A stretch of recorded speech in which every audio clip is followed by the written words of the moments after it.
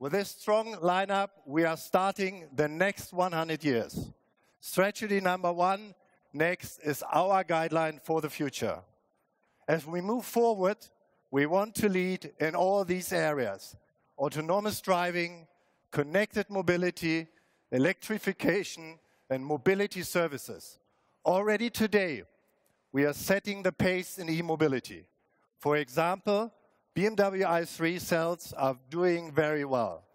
This year, we want to deliver 100,000 electrified cars to worldwide customers. One major part of our strategy is success as a global player. We call many places in the world our home.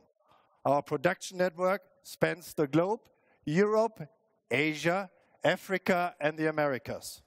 We believe free trade and open markets play a central role in creating a better world. The free exchange of ideas and goods is fundamental for world progress. This is what we stand for.